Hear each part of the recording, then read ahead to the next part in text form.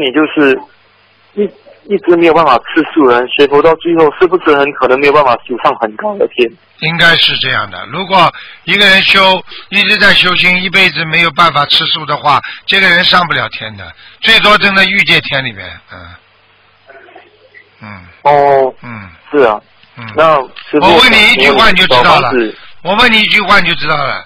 如果超脱六道轮回的人都是个个都善良，菩萨都是佛，对。你说那个佛跟菩萨会吃荤的不啦？对呀、对呀、会杀生的，就是因为有把天上的仙鹤吃掉，啊，把孔雀吃掉，把麒麟吃掉，在天上，你说可能吗？